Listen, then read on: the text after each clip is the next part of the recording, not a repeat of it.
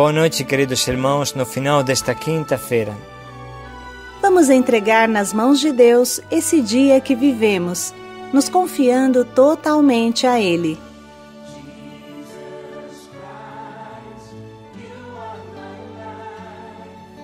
Olhando para todo esse dia, vamos falar o nosso obrigado a Deus. Como senti Deus agindo na minha vida hoje?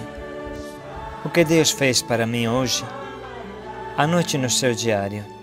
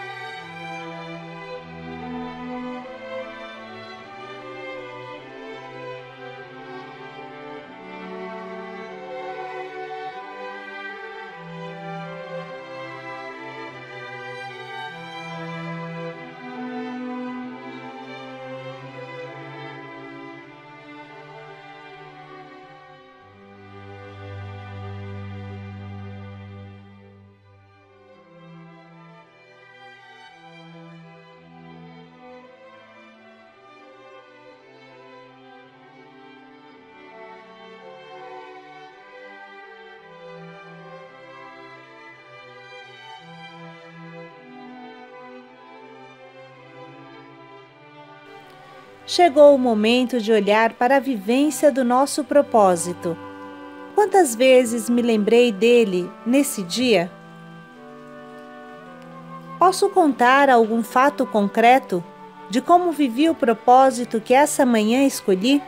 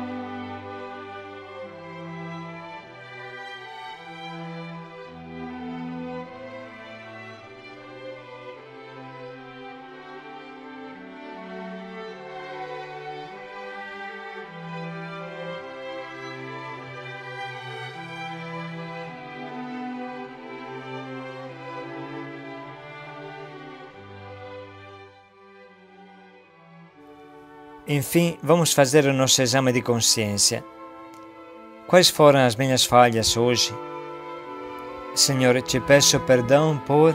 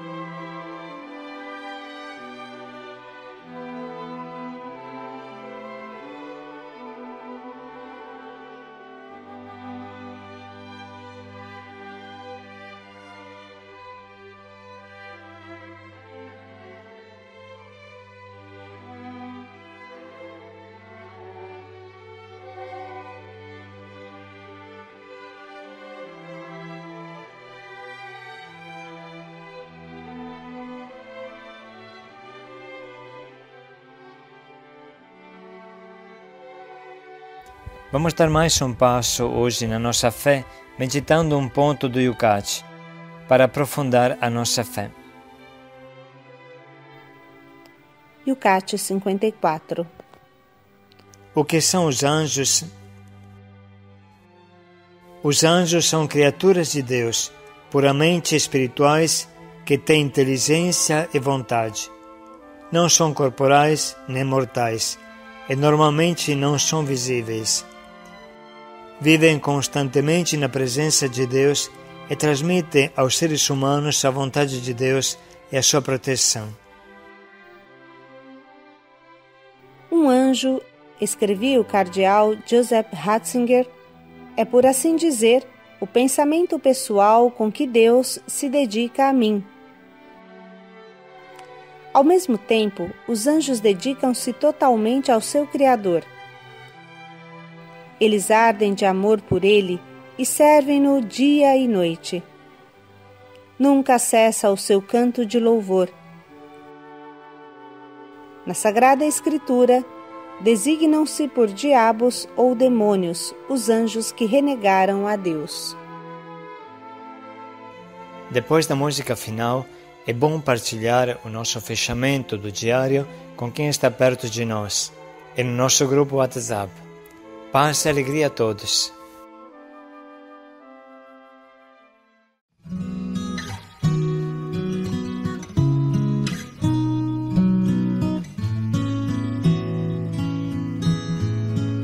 Tem um só esposo na terra, Jesus abandonado.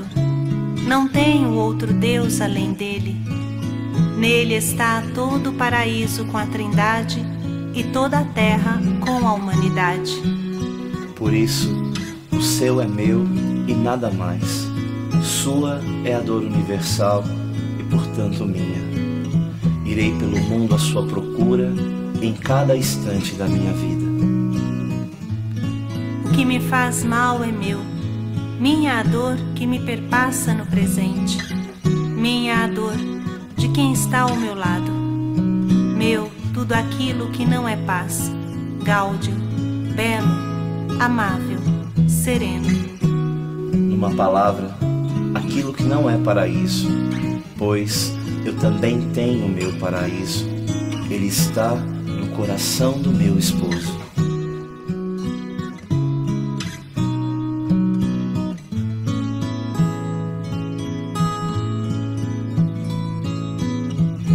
No nosso encontro uma só carne nos fazemos.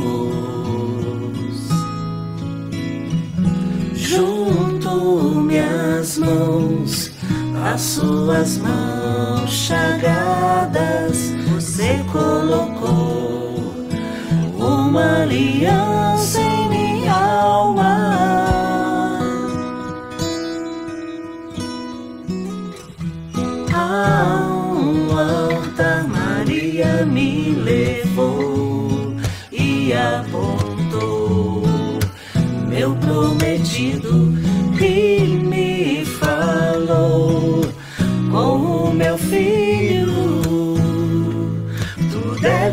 estar sempre unido.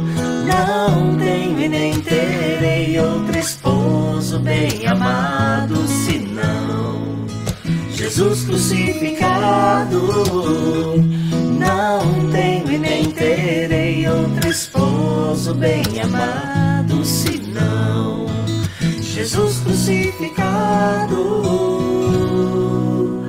e abandonado.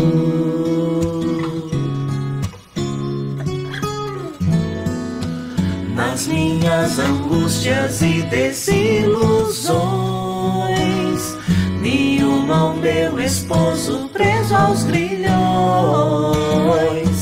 e que seja sempre assim. Já não sou mais eu que vivo, é o chagado que vive em mim. Não tenho e nem terei outro esposo bem amado, senão Jesus crucificado. Não tenho e nem terei outro esposo bem amado, senão Jesus crucificado e abandonado.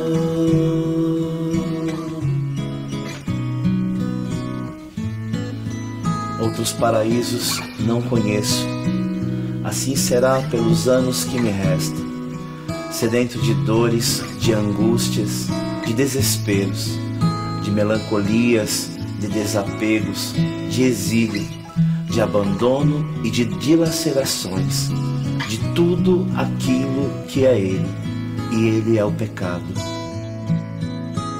Assim dissecarei a água da tribulação em muitos corações próximos e pela comunhão com meu esposo todo-poderoso, distantes.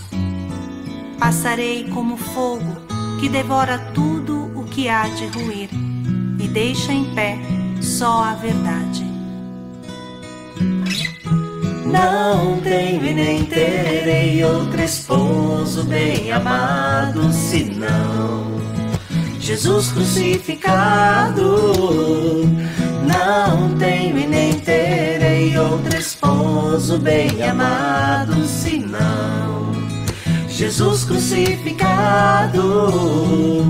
Não tenho e nem terei outro esposo bem amado, senão Jesus crucificado. Não tenho e nem terei outro esposo bem amado, senão Jesus crucificado e abandonado e desprezado, largado nas ruas, esposo amado